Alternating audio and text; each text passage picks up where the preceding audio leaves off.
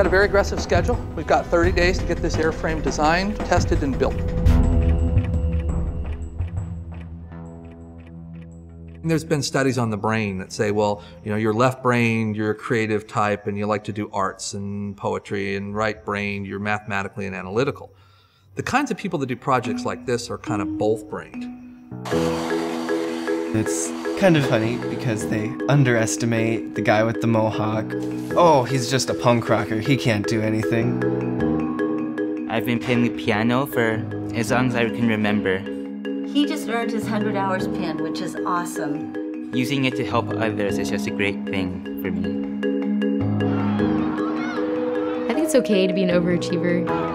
I say the risk of trying to accomplish everything is that you're bound to fail eventually. But in the end, that's okay because it's just another opportunity to learn.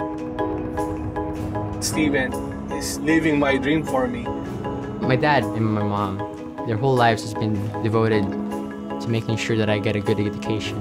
Back there in the Philippines, there was no way that I could accomplish or even study what he's studying right now. This is Gonda! Isn't she funny? She's so cute. No sé cómo explicarlo. Es un orgullo. La primera que va a la universidad y la primera de toda la familia que fue una buena escuela.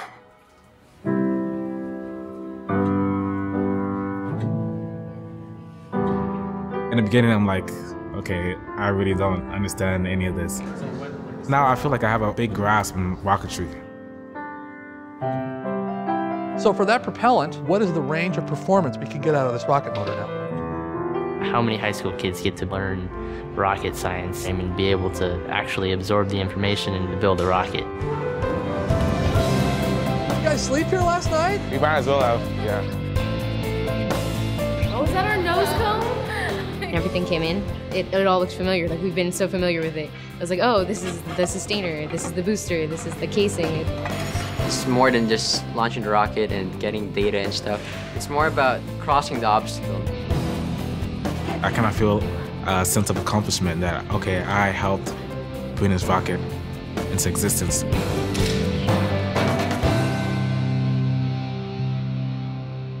Is this what you guys thought it was going to look like?